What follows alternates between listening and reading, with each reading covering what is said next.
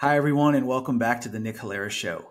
Our guest today is Wolf Richter, the publisher of the popular finance website Wolf Street. Wolf, welcome to the show. Thanks for having me, Nick. Yeah, man, I've been I've been following your work for quite some time. I must say that the the Wolf Street website is an incredibly impressive resource, and I understand from sort of talking to you the other day that all of this research all of these articles essentially doing yourself, which in and of itself is an amazing feat. I, I encourage all my listeners to check this website out because you can learn a lot about the economy. Uh, is it is that am I right that you're just doing this all on your own? Yeah, I'm a one man shop. and and tell me like I it's it's hard to do justice to to the website just sitting here, you know, voice to voice, but just for our, our listeners uh, benefit, it's an incredible treasure trove of real time analysis on the economy and occasionally on the markets and market action itself. And the, the, the subject matter is covered with such integrity and depth that it's really an incredible resource. And I, I wanted to start this conversation, Wolf, by just going back to the beginning. I know it wasn't always called Wolf Street, but when you first sat down and said, you know what, I want to write a finance website. What was going on in, in your mind at that time? Yeah, so that was coming out of the financial crisis. And uh, so 2011, really, when I came up with that. And uh, the, the original name was Testosterone Pit. And that's the original website. And you still go to testosteronepit.com and it forwards to wolfstreet.com.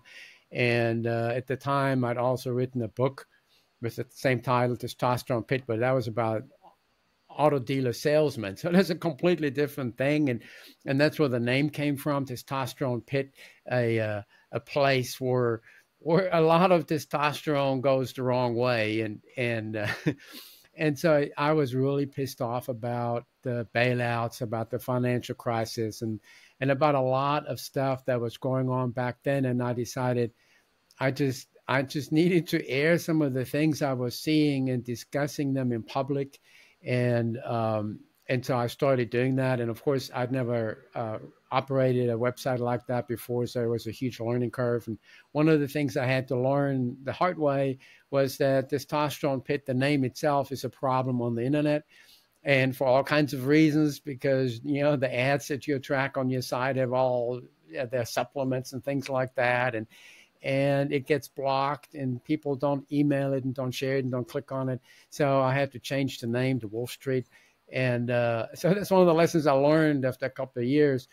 But the the principle has been the same. I'm uh, I'm not nearly as pissed off anymore as I was. I've kind of settled down over the over the years, uh, but the the the effort now is is is the same. is more detailed uh, is more knowledgeable about this stuff, which is to reveal uh, to to everybody really uh, what I see in business, finance, and money, as I say, and um, and it's gotten to be pretty big. It's a you know it's it's a business, and I'm happy to have it. Yeah, it's uh, it's been going now. If if that was during the great financial crisis, it's been going on, man, 15, 16 years or something, right? Yeah, so Testosterone Pit started in 2011, and I switched to Wolf Street in uh, 2014.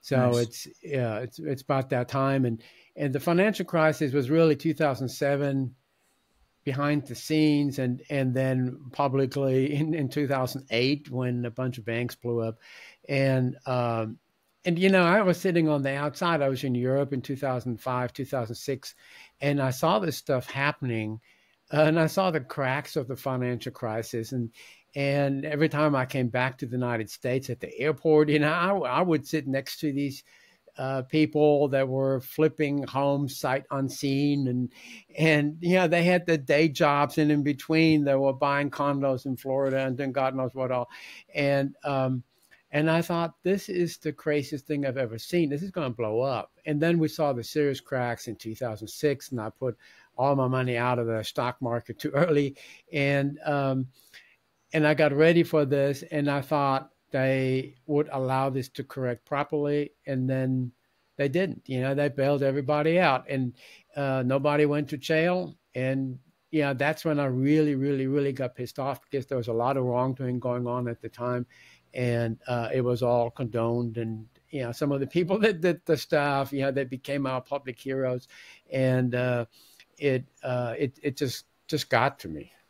Yeah, I was sort of at a, a younger younger point, earlier point in my career when this all happened, but I do remember feeling a similar kind of. For me, it wasn't so much anger, but maybe sort of confusion, because in the midst of all this, you know, I had read a lot of financial history, right, and in previous blowups and banking crisis, like people got in trouble. And what we were watching and witnessing was I forget which of the banking houses, but maybe it was Morgan or Merrill, but one of these individuals who basically blew that entity up got like a $120 million exit package, like golden parachute, that wasn't taken away. They paid it out in the midst of literally like a global banking crisis and and that to me was the moment where I was like, oh man, things are really different. And then there was all kinds of bailouts, and nothing really happened. You know, there's been some people like you writing about it, and I, th- I think there's even one decently high profile TED talk uh, from a, about a decade ago where where an individual was like, man, wh- why didn't anybody go to jail? But nobody really talks about that anymore. Like how how much of this stuff that brought the banking crisis to its knees was illegal in your mind? Yeah, I mean that's that would be good to know. I mean, we we didn't really investigate either, so we don't really we have no real idea what went on. I mean, we, we know the surface of it. You know, we, we've we've seen the results, and we've seen uh, some of the innards come out, uh, but we've also seen that in 2009 uh, bonuses on Wall Street that were paid out were at a record high. You that was after the bailouts. You know, that, that money that was thrown at Wall Street to bail everybody out triggered the biggest wave of bonuses ever. And instead of people going to jail, they got these massive bonuses. And, you know, it, it just, Americans, I mean, you see it in the comments on my site. People are still pissed off about this stuff.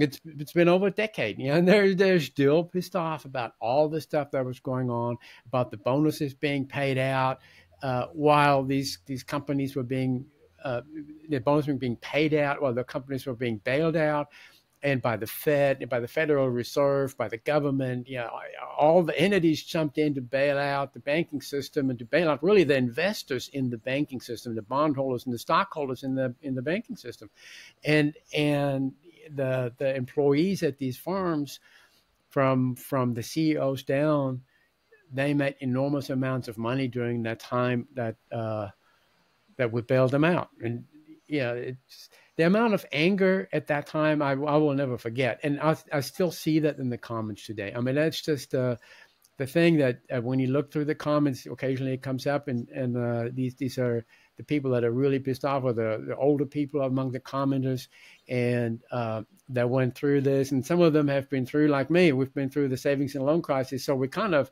had a playbook how that should be worked out with people going to jail, with lots of people going to jail, and with companies being allowed to fail, and with investors being taken to the cleaners. And uh, when that didn't happen, and that was under uh, President Bush Sr., and when that didn't happen this time around, um, and that's President Bush Jr. and and then Obama and uh, Bernanke was at the Fed, and and and that's kind of you know where we were, and and um, that left an indelible mark on on people of my generation. Uh, it just destroyed a a um, a, a, kind of a conviction that we have that in America those kind of things would be punished in the capitalist way. You know, you, you just lose all you have, and and and you know, and and then and then there's a uh, you know a state of uh, of law that that's going after you, and um, you know, we didn't see any of that. Yeah. After we talked about this, um, gosh, I guess it was yesterday I was thinking and comparing in my mind the government reaction to the cryptocurrency stuff, which is a similar saga in a sense. I, there, there was probably more outright fraud, obviously, in the crypto era. But interestingly, the government is going after the crypto scammers and seeking to, you know, punish people who have broken the law. And it's in stark contrast to these bankers, which I think that in and of itself is kind of an interesting, you know, com- uh, comparison to, to think about.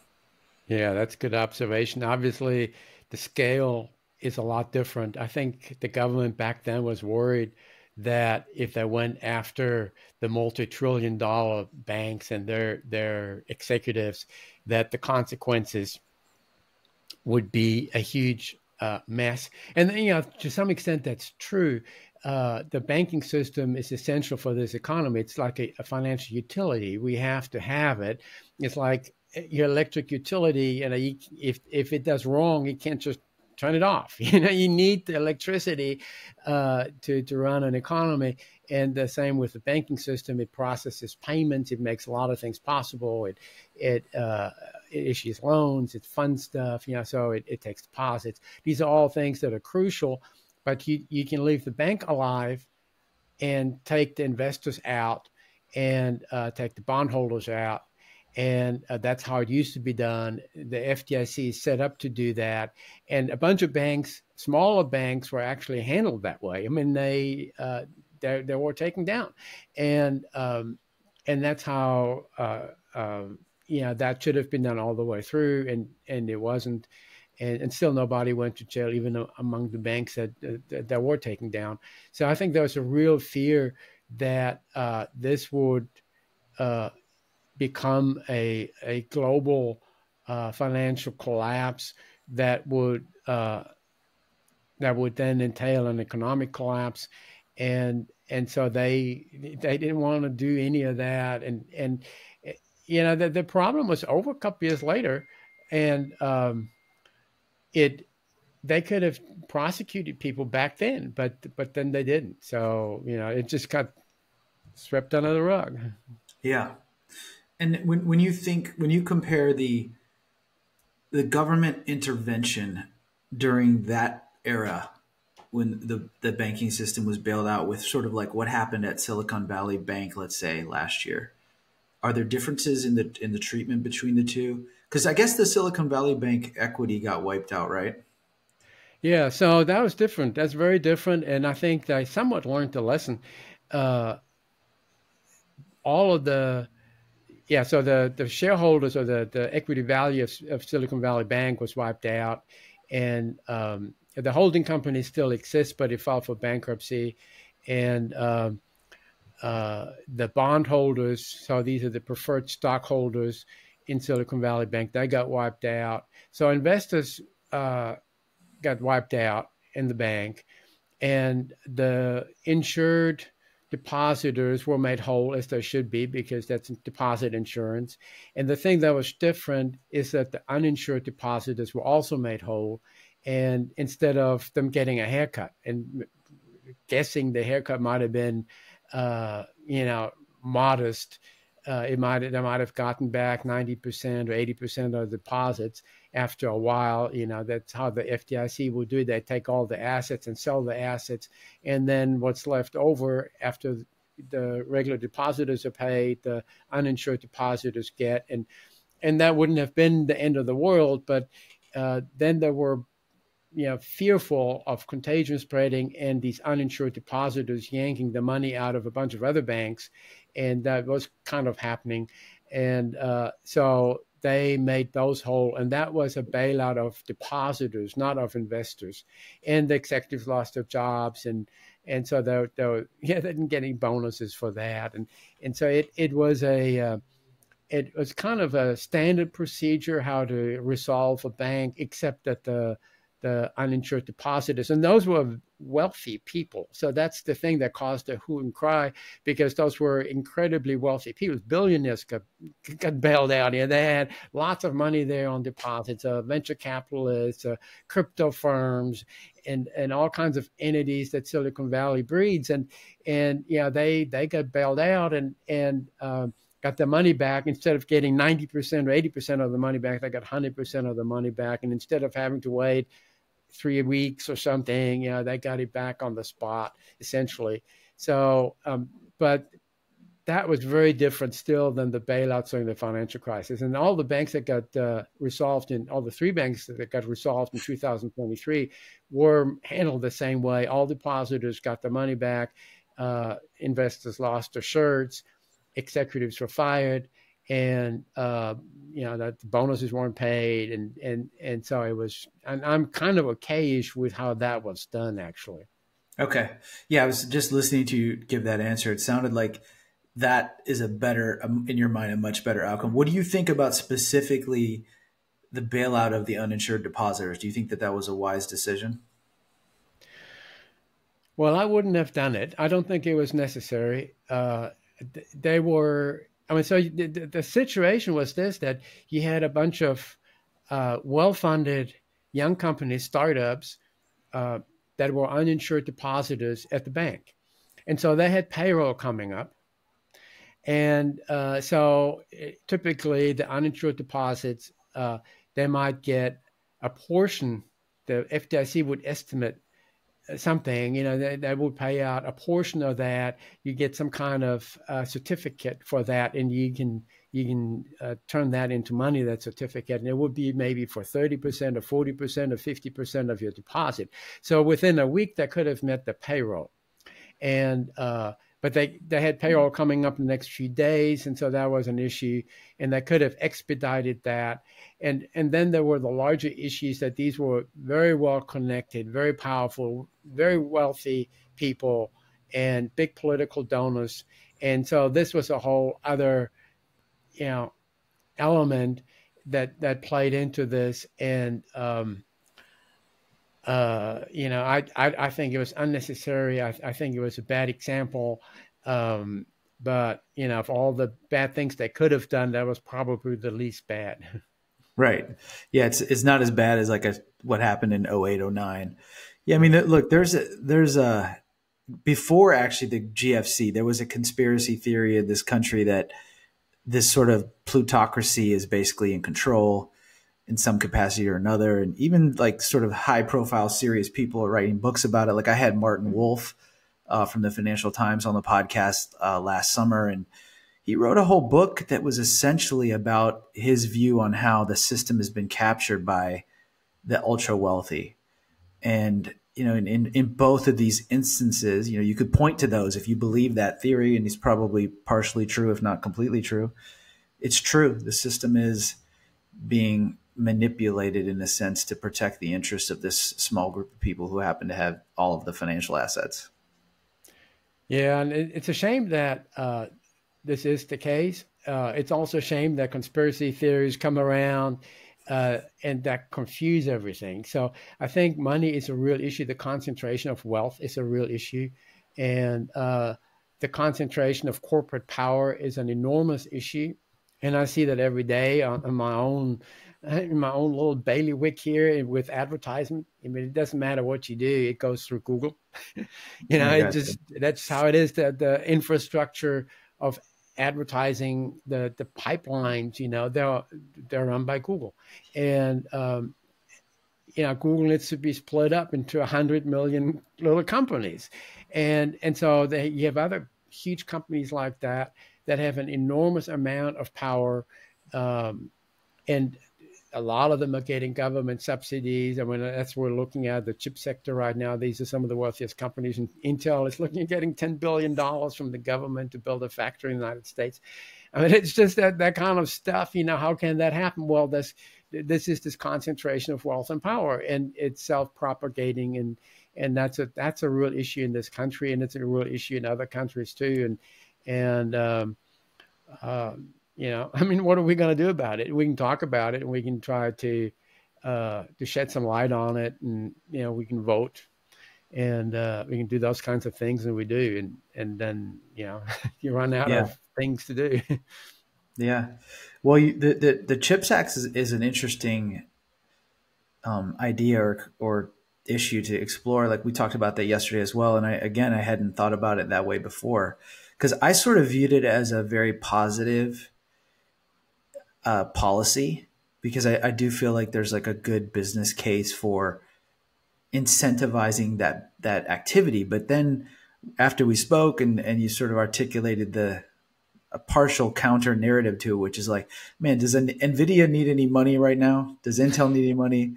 Probably not, right? There's a bunch of other people in this country who do, like people who are struggling to afford housing and healthcare and stuff. And so there is a sense in which, even though it might be good policy, it is benefiting that same small group of people who maybe don't need the incentive. Maybe we should just tell them to put the facility here in America.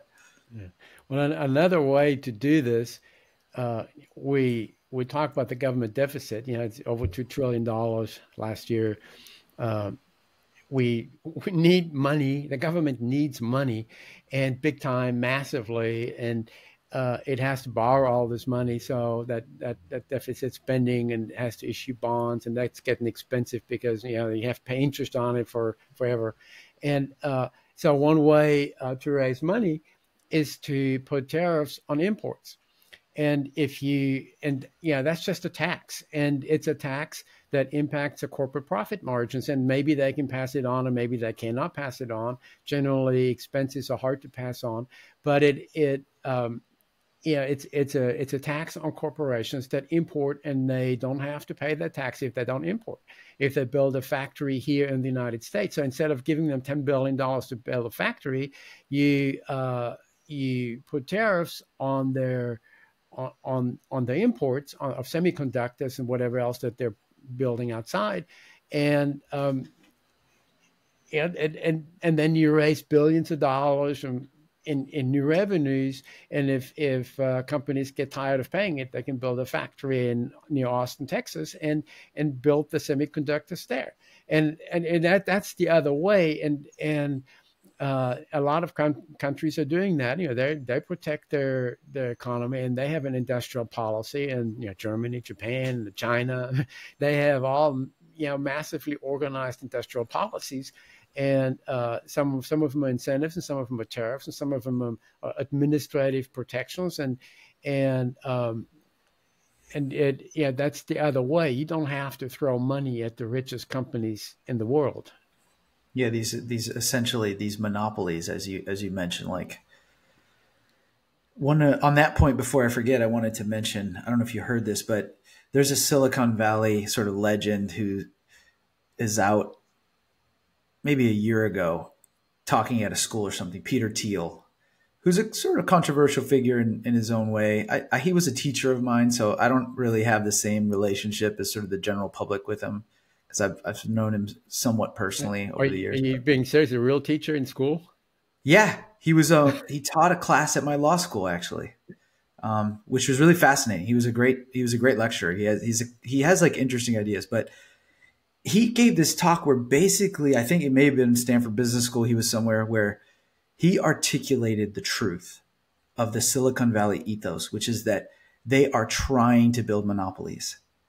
They're doing it on purpose because that's how you create a unicorn.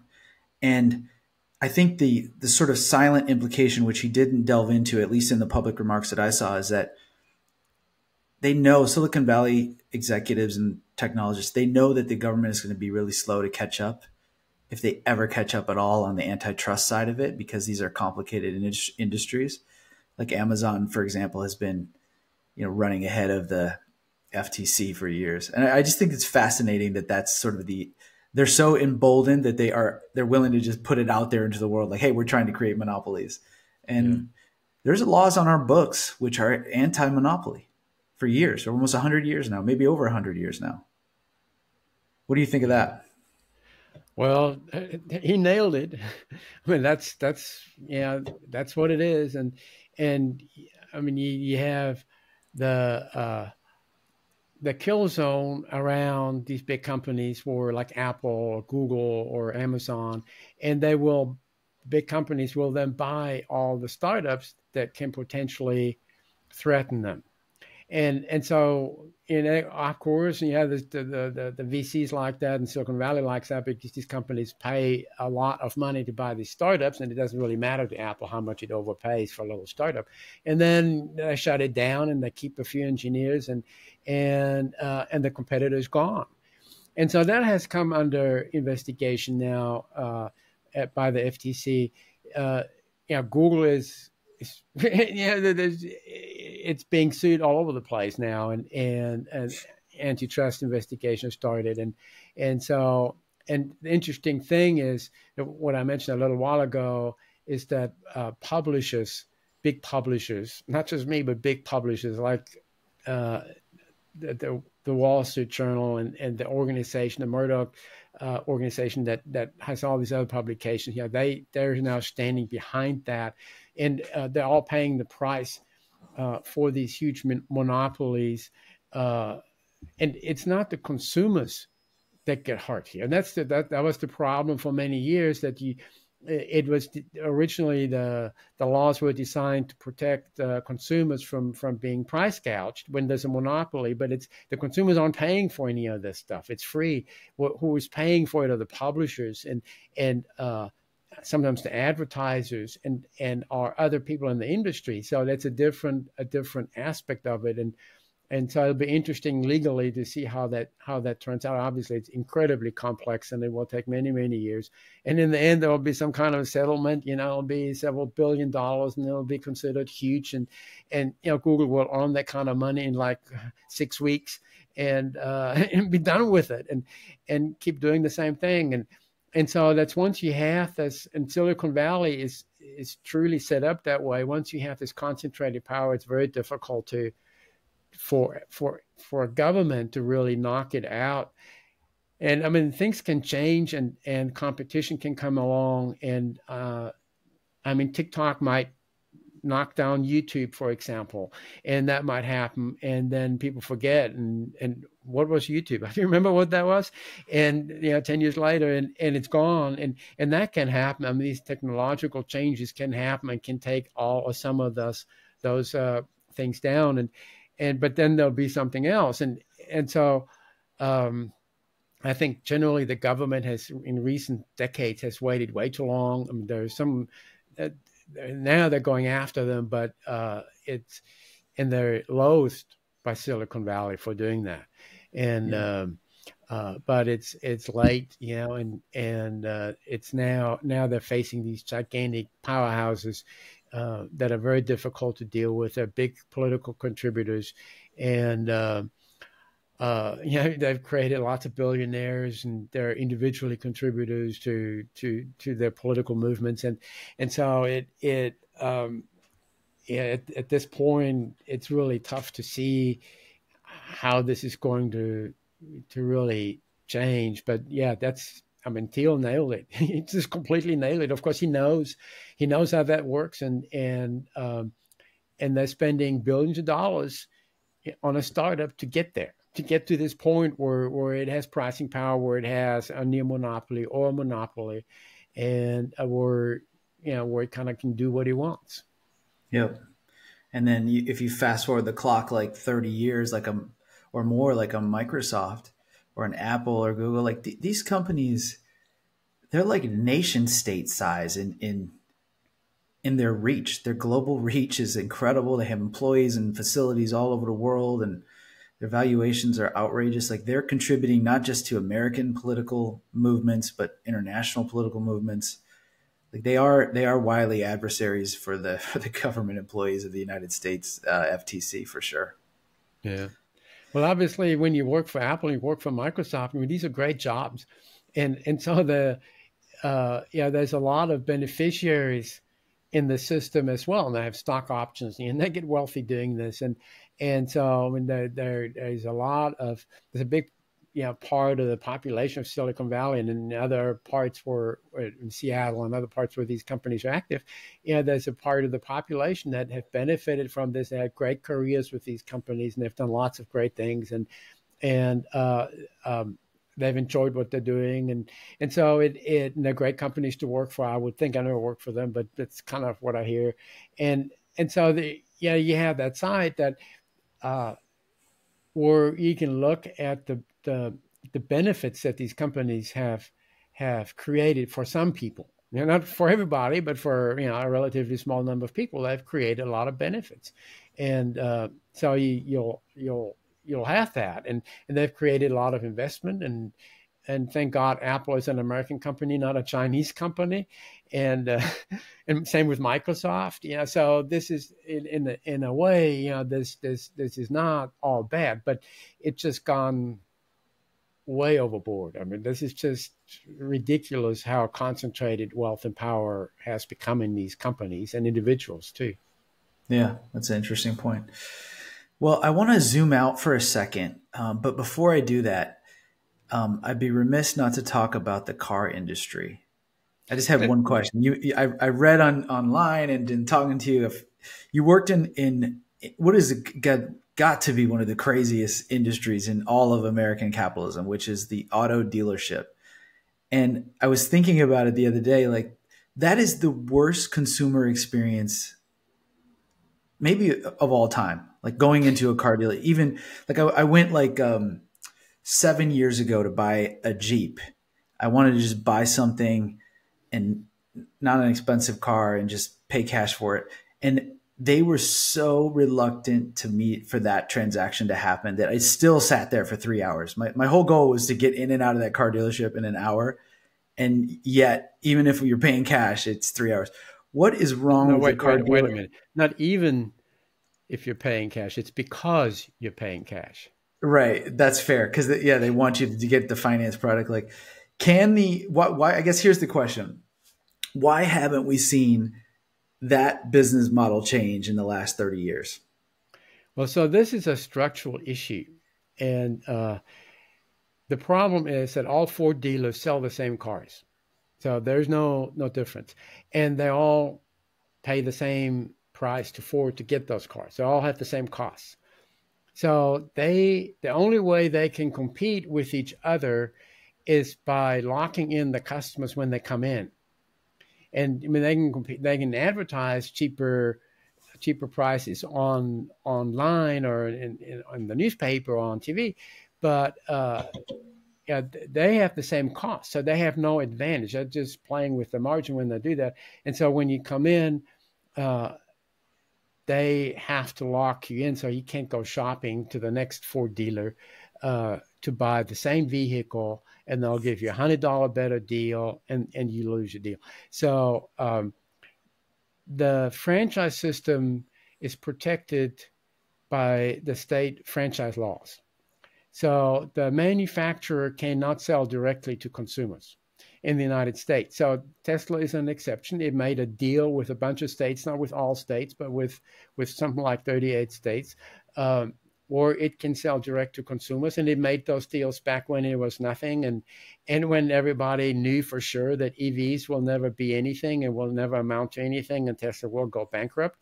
And so they let it do that. And so now we have this uh, auto seller in the United States, this manufacturer who sells directly to consumers and uh, now sells the number two uh, most the number two best selling model, the Model Y, and just behind the F Series pickup truck. And so it's gotten a big deal, and it doesn't have dealers, and it uh, it has a huge advantage in not having dealers because it doesn't it doesn't really have any competitors within Tesla. Ford has Ford has created all has four thousand dealers that all compete with each other, and uh, Tesla doesn't have that. So it doesn't have to jack around with price, and it doesn't have to lock in. Because if you want a Tesla, you, you buy from Tesla, and then you pay the price that's that's online, yeah. And um, so with Ford dealers, you know, some some Ford dealers try to to fix pricing where you know the prices are non-negotiable, and if you're not a huge dealer, you will lose sales because Americans like to get a deal. They like to negotiate, and so they you you see the, the same vehicle you offer for thirty nine thousand dollars, you know maybe five thousand dollars of sticker price, and they go with this printed uh, piece of paper to another dealer, and he says, "Yeah, I can beat that by five hundred bucks," and and uh, yeah, and that's how the system works. And America, Americans have have gotten pretty good at it, at playing it, you know, and that's that's why it's so hard to get away from. Some big dealers like AutoNation and and some others uh, have gone to no haggle pricing. So you walk in and and the price that you see is what you pay, and you can't negotiate. And um, uh, that's yeah, that's the largest new vehicle dealer in the country, and so that has some impact. Others have followed, um, and but it's it's that's how the system is set up. I I when I, I ran a big car dealership, and the, the franchise system was something that always frustrated me. It it was it, it, it's just really an outdated business model. But the dealer lobbies are very powerful, and um, they're in each state. They have they're organized, and they they uh, feel threatened uh, by by direct sales by their by their suppliers. You know, the Ford is the supplier for of, of Ford dealers. So if Ford starts selling direct to consumers, it's selling you know behind the dealer's back directly to the dealer's customers. And dealers are private individuals that invested, and that's their business, and they want to protect it and want to make money and provide for their family and get wealthy doing that. And uh, so they're organized to protect the franchise system. And each time a, a, a, an automaker tried to get around it, and they've all tried, you know, they they weren't able to. And um, so we're stuck with that. Uh, that's kind of unique. Uh, other countries don't really have that system. And uh, the result is that buying a car in the United States can be a huge hassle for consumers uh, you don't really know what you walk into. This this idea that uh, you have to finance at the dealership because yeah, dealership makes thousands of dollars when you do. So that, that's yeah, the profit center of F and I, finance and insurance. Yeah, you know, that's the biggest profit center a dealership has. There's three guys working in it, in it, and it is generating huge amounts of money. And um, so they're not about to give that up. And if you pay cash, yeah, you you run into that uh, resistance there. And of course, the best thing to do is to say, yeah, I'll finance. And uh, and you say, yeah, yeah, yeah, to every loan payment and then whatever interest rate and whatever insurance to stick it all on there. And then after you walk out the next day, you cancel it all and and pay cash for it. And you're done with it. And and then they gave you maybe a better deal on the cash price and uh, because they knew they could make it up in F and I, and you just canceled all that stuff, and and so um, I mean, that's I'm gonna try that. With it. I'm gonna try that next time I uh, I try buy a car. That's fa- I'm really glad I asked you that question because I, I just wasn't up to speed on this the the sort of regulatory landscape around the dealers, but it, it makes sense. And I, you know, had noticed obviously that Tesla was selling DTC, but I didn't know the history, and and that's fascinating because it's it's obvious like the future should be you should be able to go on your phone and buy a car at the at the set price direct from the manufacturer. That's obviously how it should be. And uh, I guess there's just a, lot of money tied up in these dealerships. It's gonna be hard to wrench wrench that away from them. Yeah, well, yeah. that's really true when you think about it. There's a lot of independent business people. Uh, there 4,000 Ford dealers. there's, you know, many more uh, General Motors dealers and the different uh, brands, and and they're all across. Every import maker has dealers, and uh, so there's I don't know how many fifteen thousand dealers in the United States, and these are businesses. Now we have 250 employees, so it's a pretty good business. And we have parts and service business, and we had a, a wholesale distributorship, a big one, uh, delivered into the multi-state area, and and um, you you pay people a decent amount of, of income. And then you know they make a living working at the dealership. And and so all that uh, is really threatened when you sell direct. And then of course there'll be other jobs that at the manufacturer that do that. They still have to deliver the vehicle. They still have to clean it up and they still have to repair it and they still have to do all these things. It'll just be it'll just be a different setup. But this this uh, yeah this american institution of the auto dealer uh, that's a highly protected uh, entrepreneurial layer in, in American society. And and um, and of course, in capitalism, you think why why why do we need to protect them? You know, and and uh, um, but we chose to do that, and so that's that's where we are. yeah, for for what it's worth, testosterone pit is a great description of that. I had uh, there was a brief moment in my life where I was a stockbroker, and I had a client who was a big salesman at a Ford dealer. And man, I, I loved I loved him. He's a great guy, but they they just live in a different world. It was it was absolutely male dominated. There was all kinds of, you know, crazy bad male behavior happening in the dealership on a daily basis. So it the name sort of makes sense to me at least. Yeah. Well, testosterone pit, the uh, the phrase, if I just throw that in here, came up in the book uh, when there's a couple of saleswomen and they walked up to a bunch of salesmen, and the salesmen were out, and they have nothing to do all day. When there's no customer, they stand around and they smoked and back then, you know, and and just chatted and and you know, uh, drove each other crazy, and and and so these two women salespeople walk up to to that group of male salesmen, and and one of them says to the and one of them starts sticking in her purse, and then the other says, "What are you looking for?" And I said, "I'm looking for the." for the business card of the EPA I have in, in my purse here somewhere because, you know, and, and they said, why are you looking for the EPA's business card? And say, well, yeah, they're in charge of cleaning up testosterone pits. And so nice. that's where that came from. I like that. Nice. Well, thanks for sharing that. Um, so I was I was on the verge of zooming out and asking you kind of a big question that may may likely result in a bunch of different questions, but if you think about your story that you shared with us today, you became a creator and started this website and, and started putting things out there in reaction to a pretty big moment in American history.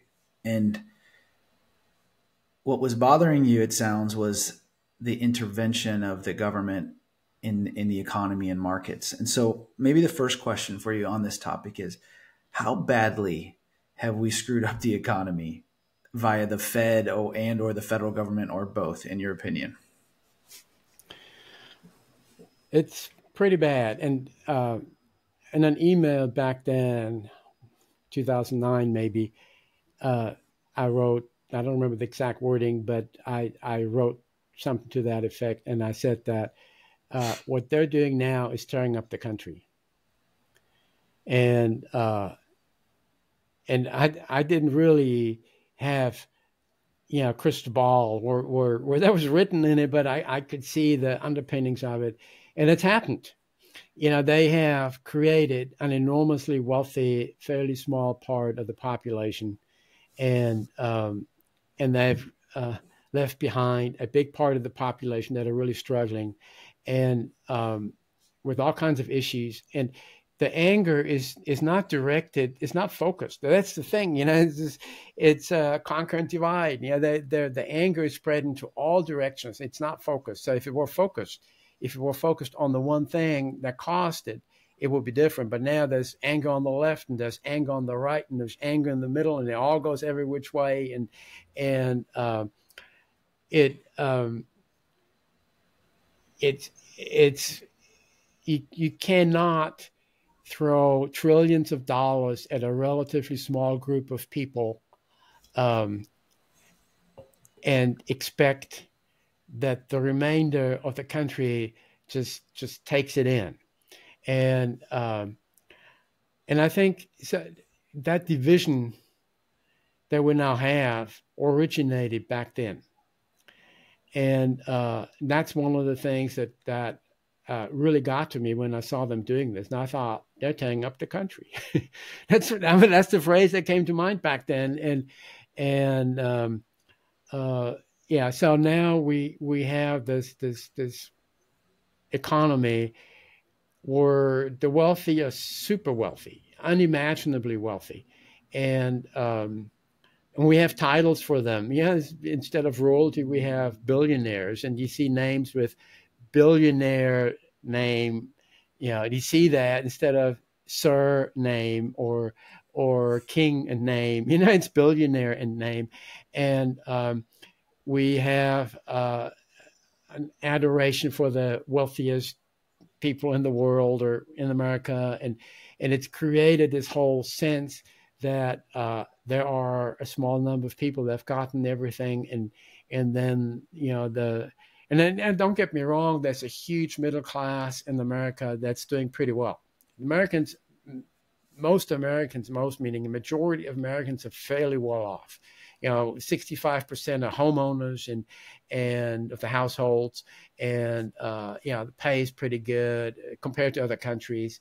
and even Japan. I mean, you, you go to Japan and, and and with the same job you have here, go over there and you make a fraction of your income, and uh, uh, you know, that, so it's not that this is a poor country. It's not a poor country. It's a wealthy country with a lot of fairly well-to-do people, and uh, the lower 25 percent of the of the income spectrum, they're really struggling. Uh, we have a huge homeless population. We have all those issues, yeah, but we do have a very large, uh, fairly successful part of the population.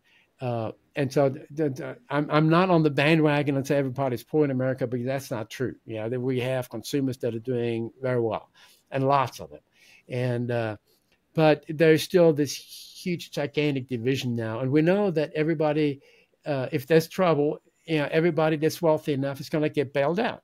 So that's that's kind of the the, the the game we've seen, and and if you're not wealthy, you pay for it. You have higher costs, you higher housing costs, and higher food costs, and higher costs for your vehicles. So you you you you end up paying for it, and uh, uh, at the same time uh, that that that others are made wealthy, and that's really um, that's a problem. It's a it's a huge problem, and uh, and I think the the Federal Reserve is is to some extent realizing uh, what what these policies have cost. There's really more Federal Reserve policies that cost that than than government policies. Government policies didn't really cost that, but Federal Reserve policies did.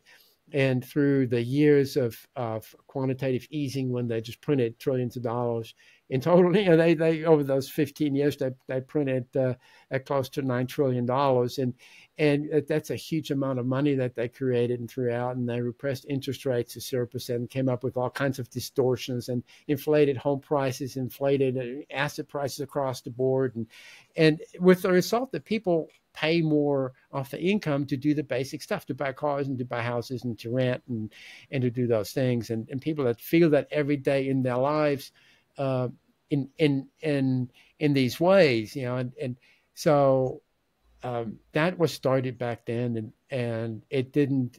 There's always this issue, but it just magnified it tremendously.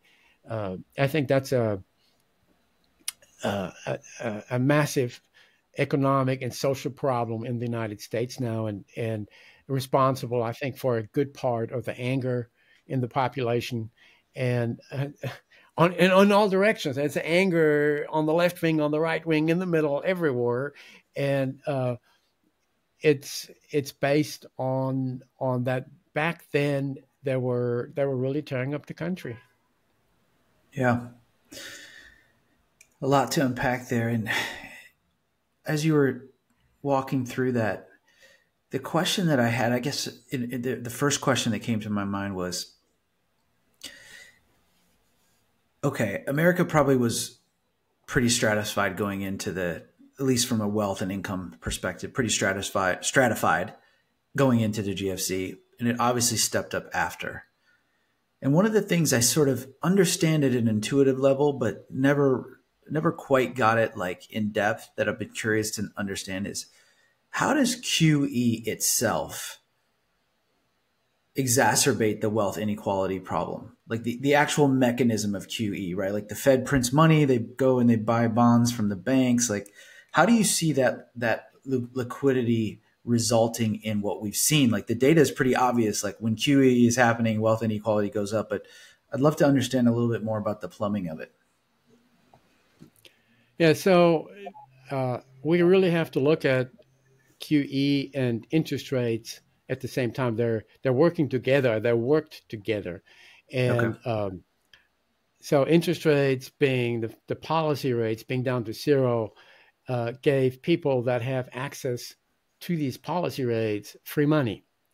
And uh, that happened through like borrowing in the repo market. And the repo market is the largest short term borrowing market in the United States. It's four or five trillion dollars a day that get exchanged there. And uh, the repo rates back then were very close to the Federal Reserve's policy rates, which were just a hair above 0%.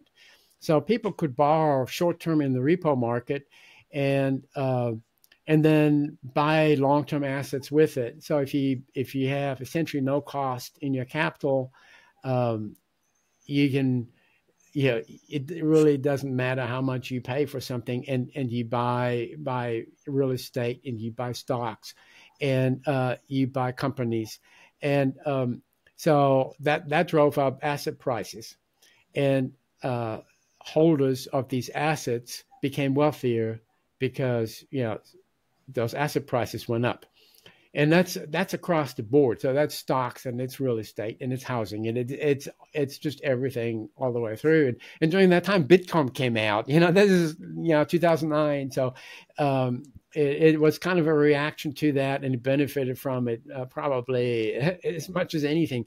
And uh, because people were buying Bitcoin, you know, and and uh, just like they were buying everything else, and um, so that's the interest rate part. And then there is the QE part, which so interest rates are the, the policy rates are short-term interest rates. The Fed sets the short-term interest rates, and uh, that doesn't impact necessarily long-term interest, like a 10-year, a 30-year uh, bond or a mortgage, and uh, those rates are more impacted by QE. So QE is when the Fed um, creates money. So money is it's a credit. You know, it's it's it's not anything you can touch. It's it's a credit in the banking system, and um, so it creates this credit and puts it in the in the bank's account at the Fed, and then the banks have this, and um, and they buy something with it, and um, so the the uh, the Fed would buy, for example,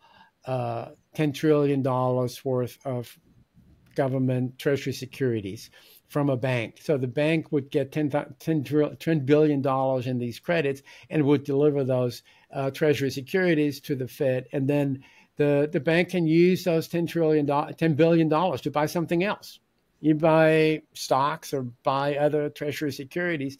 And so you do that spread across trillions of dollars and you get a, uh, a surge of demand for financial assets and uh, there's all this liquidity chasing financial assets. So interest rates are yield. So how much you can earn on your on your uh, assets that has plunged. So the you you buy a ten year bond, and by then the interest rate was two percent or something in 2009 or one and a half percent, and uh, in, in 2020, uh, the 10 year bond in, in August 2020, during the big QE wave at that time, the uh, yield on the 10 year bond, uh, a 10 year note was, was 0.5%. And uh, so you couldn't really earn anything. That the prices were so high that the yields were really low, and um, so there was this chase for yield. That these investors would would try to buy whatever they get their hands on to get some yield, and it drove yields down further, and it drove asset prices up. So when, when one thing we have to remember with fixed assets on real estate, you know that uh, with bonds is the same thing. You know, a higher price generates a lower yield. So if you if you overpay for something, you you have a bond that pays uh, you know five percent yield on a thousand dollar bond, you get uh, you get fifty dollars in interest. Now, if if you bid up that bond to $2,000, you still get $50, dollars in interest a year, but now that's 2.5% of $2,000. So your yield dropped to 2.5% because the asset prices was driven up. That happened in, in financial instruments, it happened in real estate. So uh, uh, prices ballooned, yields went down, cap rates went down, and, uh, uh and it created a lot of wealth. And uh, in with people that owned these assets. And we're talking many, many trillions of dollars. You know, there's, you know, back then there was 15 trillion dollars in the stock market and and you know 15 trillion dollars in the treasury market and there was you know corporate bonds and municipal bonds and and money market funds i mean there's there's huge the amounts are huge and uh and they were all these assets are owned so when the asset prices uh went up the people who owned them became very wealthy. And the Federal Reserve itself uh, tracks uh, the wealth distribution, and I've covered that occasionally. And you can see that how when quantitative easing and interest rate repression, as I call it, set in, how the wealth of the wealthiest just ballooned, just just took off, woof, and uh, and you know multiplying.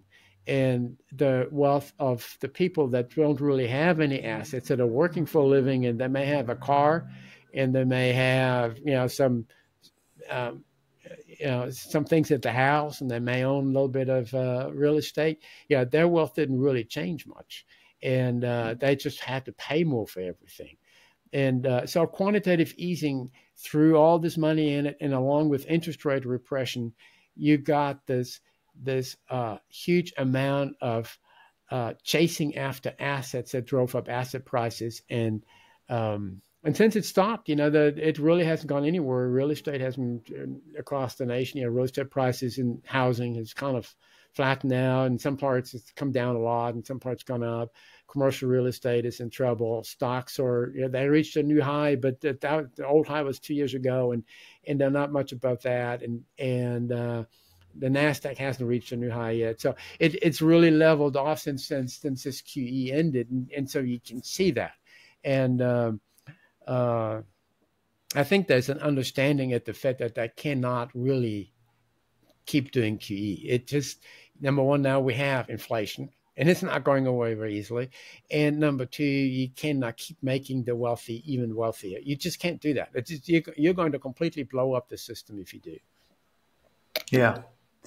Well, th- thanks for that explanation. Like I, the interest rate story, part of that story always made sense to me because I've been operating in real estate and so I've, I've felt exactly that phenomenon you describe, which is that when you can borrow for nothing, like it makes the deals way easier to pencil and underwrite.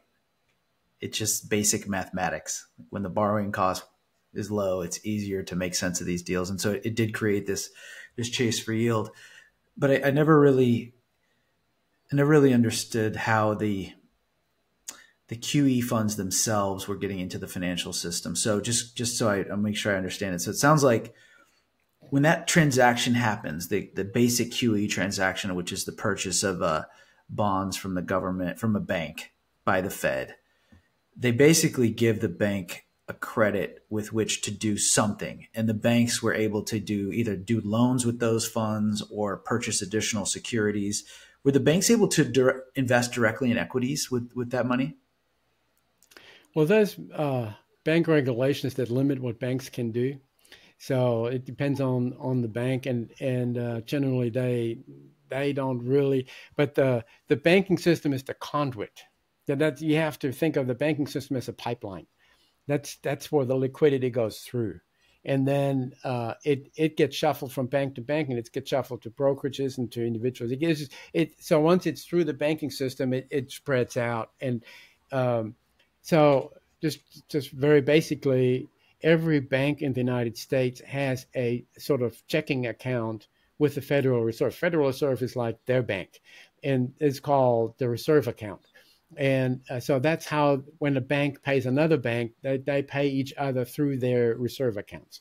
And um, it uh, reserve accounts are incredibly active. I mean, there's trillions of dollars flowing through every day.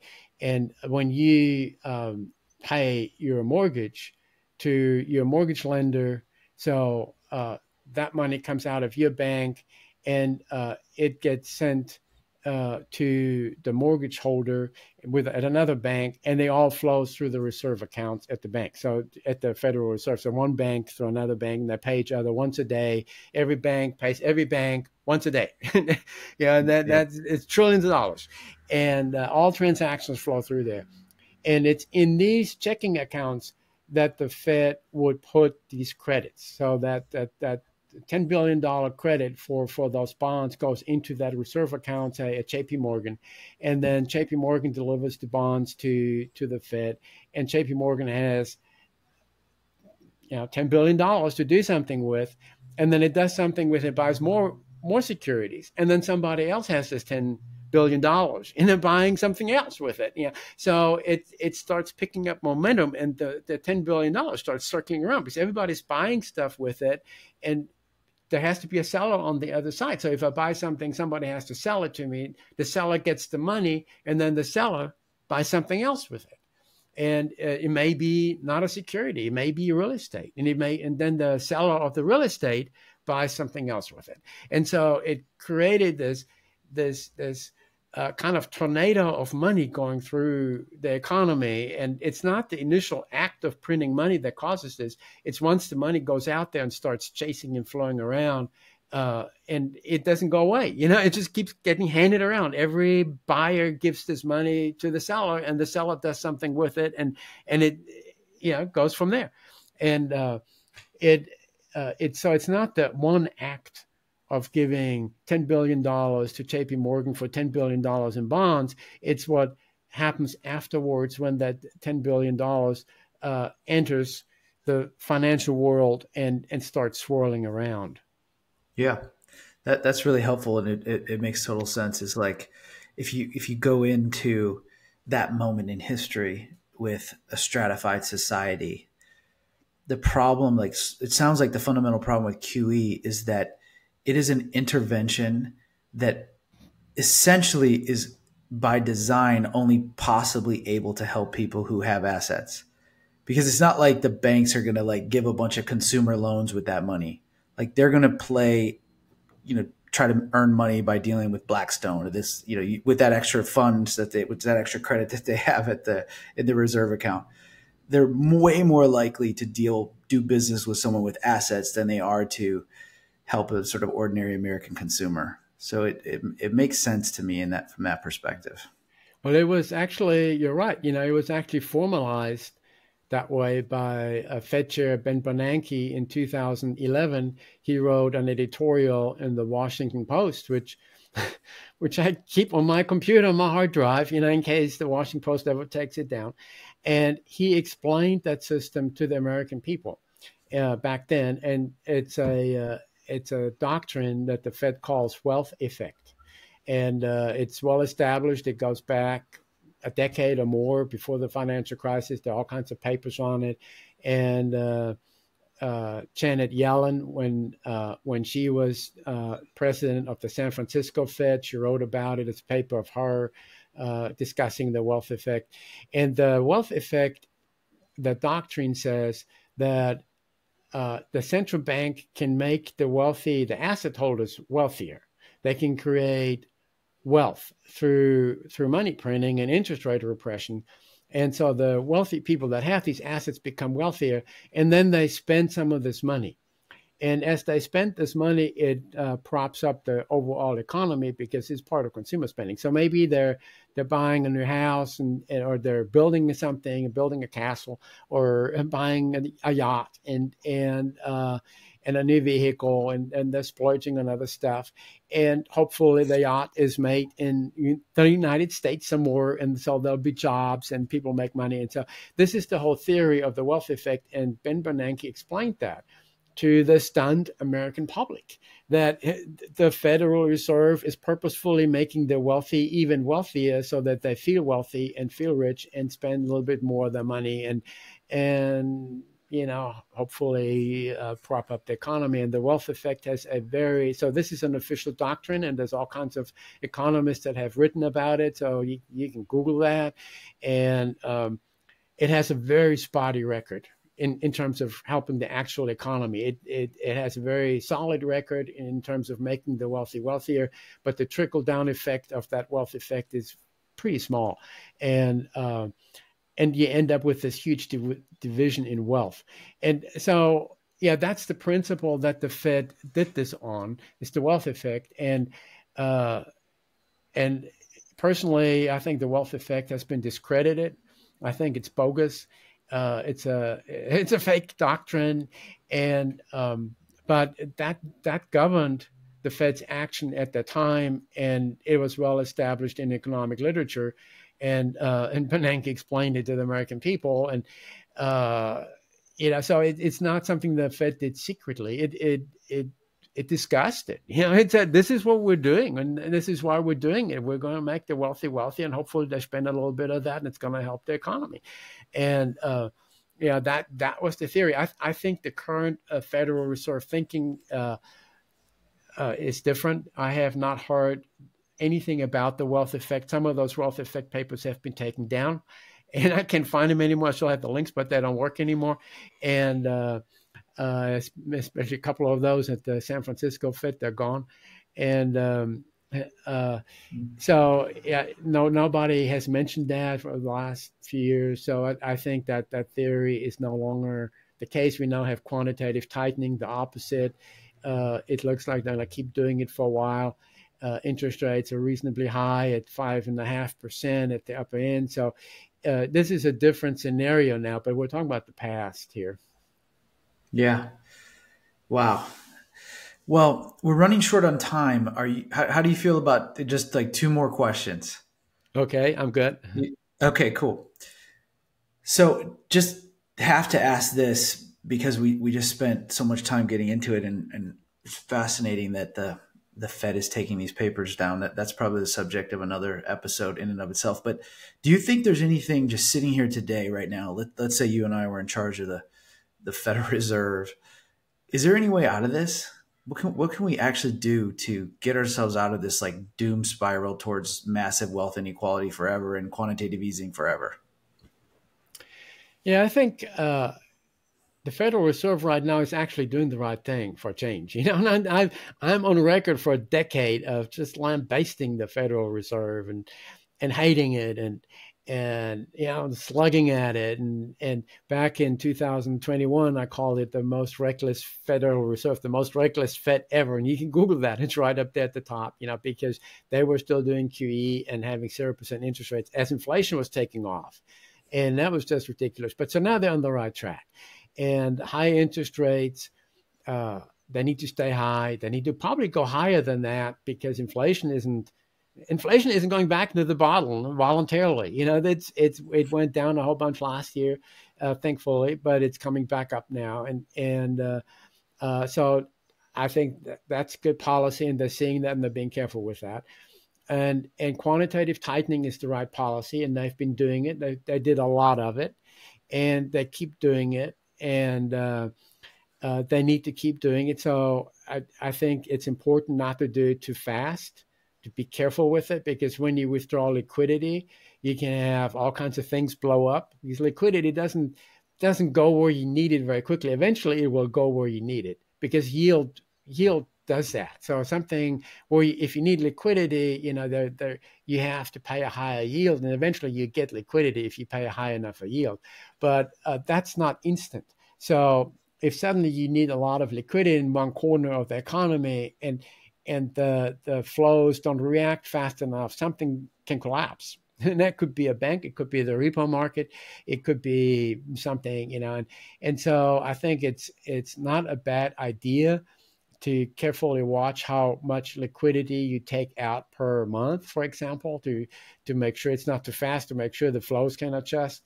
And and uh, and I think uh, and they're they're talking about it, and I think that's good. And um, so I think they're on the right track now. That what I would do if I were at the Fed, I would just keep doing that. I would not uh, buckle to political pressure and to Wall Street. Wall Street hates quantitative tightening, just hates it. And they hate these high interest rates. And there's a lot of pressure on the Fed to cut rates and a lot of pressure on the Fed to quit quantitative tightening.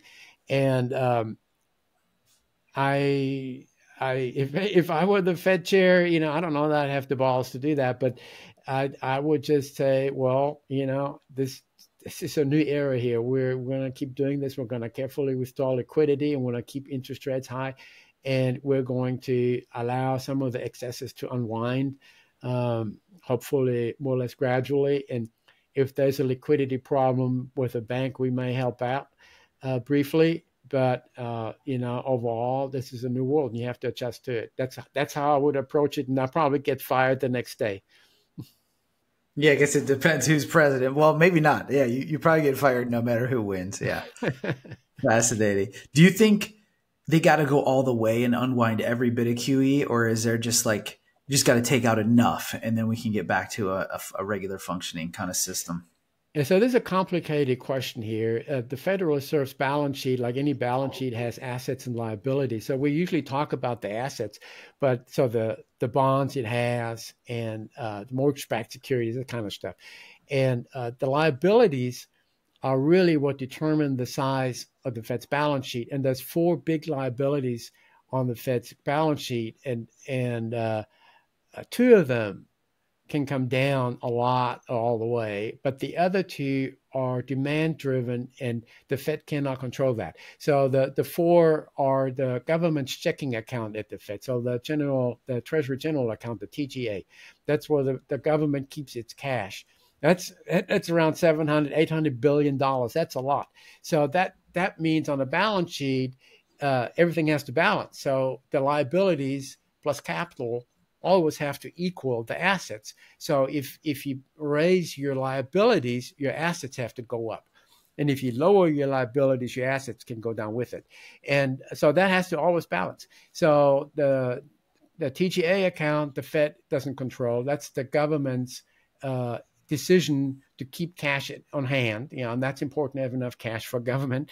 And uh, then uh, currency in circulation. So those are the paper dollars you have in your pocket. They're called Federal Reserve notes. Uh, there are uh, they're little IOUs that the Federal Reserve gave you. So if you walk into the Fed and say, "This is hundred bucks here," I I I won't get some for it. You know, it's it's that thing. So this is demand driven. There's 2.4 trillion dollars of this paper currency out there. Uh, Apparently, over half of it is overseas. Uh, it's used for all kinds of purposes, legal and illegal, and people hoard it and, and have suitcases and mattresses stuff with them. And uh, so when you go to the bank and you ask for a $100 in cash, the bank has to have this money on hand and has to give it to you. And the bank gets it from the Federal Reserve, but the bank cannot buy that cash. It has to exchange it for collateral. So for like Treasury securities. So if a bank wants to get a hundred million dollars, hundred dollar bills from from the Federal Reserve, it has to give the Federal Reserve a hundred million dollars in Treasury securities or some other collateral, and it gets a hundred million dollars of hundred dollar notes. And uh, so those Treasury securities that are collateral posted by the bank, those are assets for the Fed. So that $2.4 trillion in currency in circulation has an equal amount in assets on the Federal Reserve's balance sheet. So in, in securities. So now we have the TGA 800 billion and currency in, in circulation 2.4 trillion. So that's 3.2 uh, trillion dollars that the Fed has to have in assets to counterbalance. So that's that's already there. So that's a total absolute minimum. And then the Federal Reserve also has some other assets on its balance sheet, such as the some gold and some different things. And then the two other liabilities are uh, the reserve accounts. So that's money that the Fed owes the banks, and uh, uh, the uh, overnight reverse repos. So that's the money the Fed owes money markets and the overnight reverse repos that's that's a short term uh, yeah that, that's where money markets deposit money at the fed to earn 5.3% interest. And that's short term it's come down a lot. That can go to zero. It was zero before. If that can go to zero. It was during the peak it was 2.3 trillion dollars. Uh, now we're down to less than 500 500 billion dollars and that can go to zero so that that can be gone then there are reserve accounts and they will always have some cash in it they have to have some cash in it that's the liquidity of the banking system and uh, last time we the Fed did QT in 2019 and ran into a problem with the reserve accounts. They dropped to 1.4 trillion, and that's when the repo market ran out of liquidity because the banking system refused to lend to the repo market, and the repo market blew up. So that's that's the thing. So they the banks need to have enough liquidity so that they're encouraged to lend to the repo market and to other entities, and um, uh, so there have to be the term is ample reserves, and nobody knows how much that is, but we know last time it blew up when they went down to 1.5 trillion. So maybe now it's two trillion, a little more than that, and uh, so you have $3.2 trillion in the TGA account and in the currency in circulation, and maybe a couple of trillion in, in the reserve account. So that's 5.2 trillion. And so probably once once the total assets go below 6 trillion, you're going to hit that minimum. That just it's just required for the economy to operate for the in terms of the Fed's balance sheet because you have the liabilities, you have the assets, they have to balance, and uh, uh, you know, the Fed never had zero assets. From day one, it had assets. Before the financial crisis, it had $800 billion in assets. And it, it continued over the 100 year, 110 years of the Fed's life. It, it has continued to grow essentially with currency in circulation and now we have the, the government's checking account. That's another story. You know, the government's checking account used to be with J.P. Morgan and with some other banks. And during the financial crisis, they got scared. they yanked the money out of those banks and put it on reserve on on deposit at the New York Fed. So the New York Fed became the banker of the government in 2009, and. Uh, that swelled up the balance sheet of the Federal Reserve. Yeah, now you've got all the cash from the government there, and uh, so uh, that's changed. Yeah, that's not the, the, government's not going back to J.P. Morgan. So that's a permanent change, and the government. So that's why we can't go back to 800 billion. We've got currency in circulation. We've got the TGA account, and then we've got the reserves. So it, um, you know, to, if we get down to 5.5 trillion, I think that will be very that will be very tight. It will be good. I'd like to see that. Uh, I don't know that we'll get there. We're at, at around 7 trillion now, and a little over 7.4 trillion maybe. So um, we're, we're down about a trillion a year.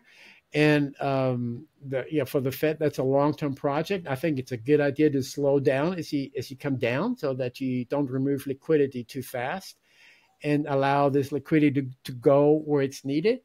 And uh, um, yeah, so people will say, I want the balance sheet to go to zero. That, that's not, that never was zero. It can't go, it can't, can't happen. And it can't go back to 800 billion either, but it could go back to maybe 5 point something billion. That's, maybe. I'm really glad I asked you that question because you just sort of delivered a, a tour de force explanation of that. And it, it makes me optimistic because I have never really dug into the weeds of this central bank balance sheet stuff. So I just assumed that the task was so insurmountable because the, the Fed, the QT numbers are like 30 billion or whatever they were or whatever they are. And we're talking about trillions upon trillions of dollars that were, were put into the system in QE. So it, it felt like a Herculean impossible task, but it sounds like the way the math works in the plumbing that once you once you do QE like they did, the genie's out of the bottle in some cases on the balance sheet. Like some of this money is just permanently going to be in our system, and we maybe we could get back to a decent spot before too long. Really, I mean, if we're at seven and to get to six, it doesn't seem crazy. Uh, and maybe that's enough to, if they keep interest rates like you're suggesting, maybe that's enough to drive this inflation out of the system uh, yeah. for good. Yeah, I'm, I'm really not hopeful that inflation will be gone quickly. I uh, I remember back in the 70s and 80s, you know, it, it, took a long time. And even after inflation came down, it was still high for for another 15 years. It it wasn't 15% anymore, but it was still five, six percent, four percent for for a long, long time. And you know, my first mortgage was eight percent, and I got a great deal because I bought from a bank uh, who had uh, foreclosed on the on the condo and the bank was collapsing and he was making me a below market mortgage deal. And you know uh, half a year later the bank was taken over by the FDIC and a local bank in Oklahoma and, and that's how I was back then during the oil bust. And and uh, eight percent was a was a great deal. Inflation was four or five percent at the time and and uh, so there was not late 1980s. It's still we're still having four or five percent inflation, six percent, and uh, and and eight percent mortgage rates. Yeah, that's 15, 15 year mortgage. So that's yeah, I, I loved having it. Yeah, it was a great deal. I was really proud of it. Yeah, things have changed, right? Wow. Well, we're coming to the end, and I, I want to I want to just throw this out there because I feel like there's so much ground that we didn't cover. Uh, we got to do this again.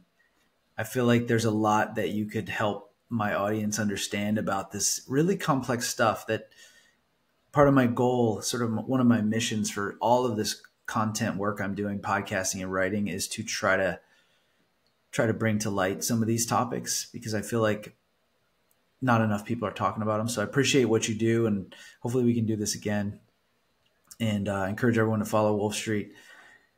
Another fascinating thing about Wolf for the audience is that early in his career, he, he took a pause and traveled to uh, 100 countries, every single continent, and was gone for three years. And and I can't leave this interview without without at least asking one question about that. And and maybe we could leave this as like a cliffhanger for like what else did Wolf learn uh, in that journey? But what what's one thing that stands out like that you learn on that trip that has informed the way you're leading your life today and and listeners could take into their lives to you know make it better? Well the biggest lesson was probably going through africa. So i went through 25 countries in africa overland mostly. And so that was 1997 there's no cell phone and there's no electricity in a lot of these places and you're in the back of a truck and and uh, with the locals and uh, you see life from a very different point of view. And uh, you you don't leave that behind and go back to like how you were before. it just doesn't work that way, and uh, you just kind of changed after you go through that, and um, it it made me ultra aware of the human condition of what we do, what we are, and uh, of the immense uh, divide in wealth that we have in this globe and and, and, and in this world. And and um, it you know it's there there I didn't find any solutions or anything. It, it it's not that kind of thing. It just it just burns your your brain in a few spots. And and um uh yeah I mean the the lesson I've learned is thank God I did this uh yeah it changed my life I thank God I did it when I did it, which was when I was, you know, just turned 40. And, uh, uh, I wouldn't want to do it now. You know, number one, the world has changed. You know, you can't really do that anymore. You can't get lost in Africa anymore for, for six months. You know, the, the cell phones everywhere now, and and you can go there with your cell phone and, and, and you know keep posting comments. Google Maps, yeah, yeah. Yeah. So I mean, it was a it was a super fascinating experience. I'm glad I did that, and I could not go back to where I was in my life, and my life changed completely. It took a U turn, and and um, the best thing I've ever done. Yeah, I mean, it sounds like that kind of experience is fertile ground for for thinking about serious issues in life, and it, you know, I don't know you that well, but just in the last couple days got to know you. It seems like it's it's like coming full circle in a sense where you had that experience and ended up years later having this emotional reaction to something that on the surface doesn't really seem related to that to like an experience of going through Africa, but it kind of is because these policies that you're writing about and are upset about, they contribute to the the scenario of, of real human condition on life, right? Like we're talking about numbers and it's, it's easy to get lost, but at the end of this, end of every one of these statistics is a human being. And some people, you know, as a result of these policy decisions are doing fantastically well and they're going on vacations and other people are not. And it's important that we keep that in mind as we pursue whatever we're trying to pursue in this life. So yeah. thank you for uh, coming here and I hope we can do this again sometime. Thank you, Nick. Anytime.